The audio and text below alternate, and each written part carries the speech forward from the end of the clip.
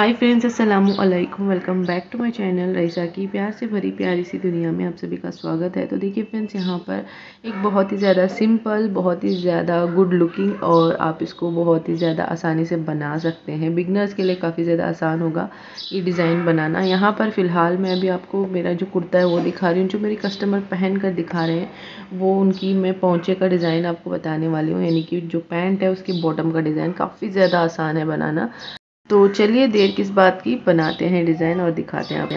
तो देखिए फ्रेंड्स, यहाँ पर मैंने जो उनकी पैंट है, पहले से कटिंग करके रखी थी। मैंने प्लाजो पैंट सोचा था उनको बनाना मतलब जो स्ट्रेट प्लाजो आती है, वो मैं बना रही थी। फिर बाद में उन्होंने कहा कि नहीं, आप कुछ डिज़ाइन बनाकर एंकल में बना देना। तो यहाँ पर मैंने जो भी मेरे पास कुर्ती का कपड़ा बचा था, वो भी मैंने इसी पैंट के साथ में रखा था, ताकि मैं आगे डिज़ाइन वगैरह बनाऊँगी। तो मैं वो यूज़ कर लूँ। तो काफ़ी कम कपड़ा बचा था, कम कपड़े में ही मैं बना रही हूँ। तो बस यहाँ पर मैंने एंकल में कटिंग कर ली है। अब यहाँ पर मेरे पास इतना ही कपड़ा बचा, ज़्यादा नहीं बचा, वो भी आगे पीछे। है मतलब एक पीस बड़ा है, एक पीस छोटा है। तो मुझे ना जो छोटा है, उसी के हिसाब से अकॉर्डिंग बनाना पड़ेगा। तो बड़े को मैंने निकाल दिया कटिंग करके। जो छोटा है, उसी का ले सकती थी क्योंकि एक ही पोंचे को आएगा। छोटा बनाऊँगी तो दोनों पोंचे को आएगा। और यहाँ पर मेरे पास ना छः इंच का कपड़ा नहीं था तो यहाँ पर मैंने साढ़े तीन इंच का कपड़ा उसको लंबे में काट लिया है। बस अब उस कपड़े को ना बीच से मैं काटूँगी और उसको छः इंच का बना लूँगी। तो यहाँ पर इस तरह से मैं बना रही हूँ। अगर आपके पास छः इंच का कपड़ा है तो आप उसको डायरेक्ट ही बना सकते हैं। तो बस इसको बीच में से कटिंग करेंगे और इसको जोड़ लेंगे।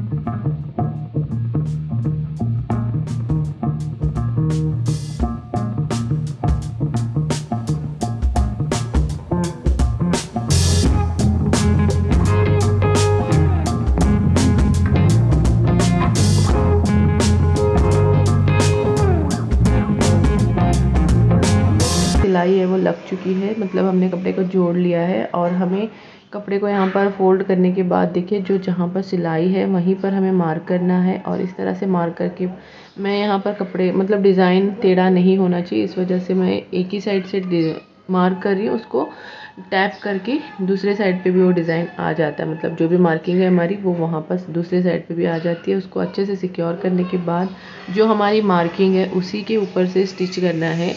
जैसे सेम जैसा हमने मार्क किया है, उसी के ऊपर एग्जैक्ट और आप यहाँ पर देख सकते हैं, सिलाई के साइड में मैंने मार्क किया है। तो बस इसको यहाँ पर इस तरह से हमें स्टिच लगाना है। स्टिच लगाने के बाद हमें कट लगाना है। जो भी कपड़ा यहाँ पर आया है एक्स्ट्रा उसको कटिंग करना है। वी का शेप दे देना है। फिर इसको कपड़े को सीधा कर देना है।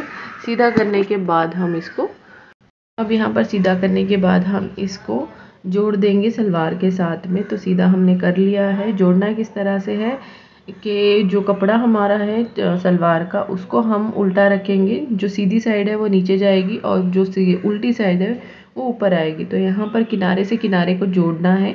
जोड़कर हमें लगा देनी है एक किनारे की सिलाई। तो इसके बाद हम जो डिज़ाइन है, उसके कॉर्नर की सिलाई भी लगा देंगे। तो इसी तरह से हमें सबसे पहले साइड की सिलाई लगा देनी है किनारे की। अब यहाँ पर जो हमारा डिज़ाइन हमने बनाया है तो उसके किनारे को हम यहाँ पर सिक्योर करेंगे किनारे की सिलाई लगाकर।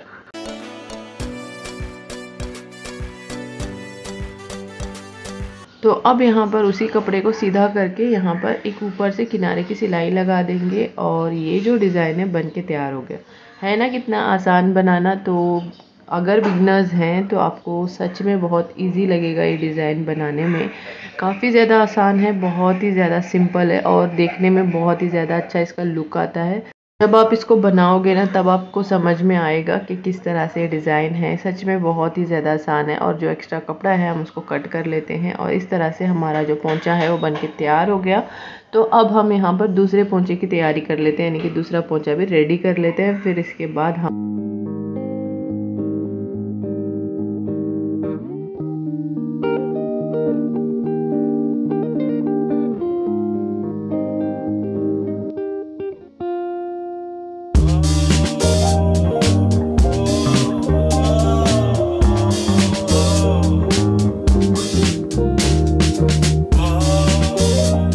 दिखा रही हूँ। यहाँ पर जो स्पेस बचा हुआ है, यहाँ पर आप एक बटन डाल सकते हैं। बटन डालने से इसका लुक जो है ना और अच्छा आता है। आप ज़रूर से इसमें बटन या फिर अगर आपको हैंड एम्ब्रॉयडरी आती है तो एक छोटा सा फूल बना दीजिएगा। तो यहाँ पर अब बस मैं सलवार को तैयार कर रही हूँ, यानी कि सलवार को जोड़ रही हूँ। और सलवार को जोड़ने के साथ साथ ही मैं यहाँ पर जो स्टिच लॉकिंग है, वो भी कर ही लेती हूँ क्योंकि फिर इसको बाद में करना मुश्किल हो जाता है। एक ही साथ में जब स्टिच कर ही रही हूँ तो मैं स्टिच लॉकिंग भी साथ में कर लेती हूँ। इसी वजह से मैं इस पिको की मशीन को यूज़ करने लगी हूँ, वरना मैं पहले इसको सिर्फ़ स्टिच लॉकिंग पिको के लिए यूज़ करती थी। लेकिन अभी मेरी वो जो मशीन है, थोड़ा सा मेरा उसका वायर का कुछ प्रॉब्लम हो रहा था, इस वजह से निकाल कर रखी थी। तो बस इसी मशीन में सारी चीज़ें कर लेती हूँ। और बस यहाँ पर देखिए स्टिच लॉकिंग भी कर चुकी हूँ। बस इसी तरह से मैंने सिक्योर कर लिया है कपड़े को ताकि कहीं से भी कपड़ा जो है ख़राब ना हो जाए। इसके ऊपर से इलास्टिक लगाकर हमारी जो पैंट है वो बिल्कुल तैयार हो जाएगी।